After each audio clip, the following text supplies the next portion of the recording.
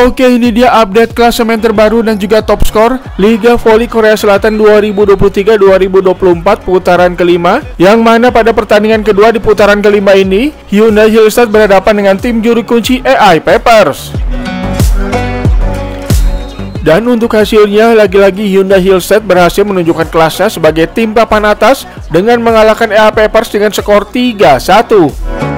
Nah dengan kemenangan ini maka Hyundai Hillside berhasil meneruskan tren positif kemenangan beruntunnya dan berhasil mengamankan 3 poin dari hasil pertandingan kali ini sehingga poin Hyundai Hillside yang sekarang menjadi 61 poin berjarak 8 poin dengan Pink Spider yang ada di posisi 2.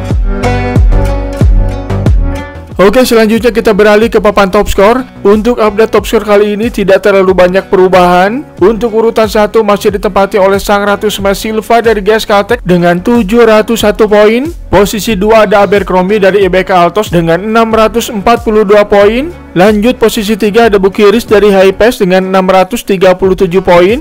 Lalu Yasmin dari AI Papers dengan 576 poin. Dan posisi 5 ada Momo Basoko dari Hyundai Hillset dengan 559 poin.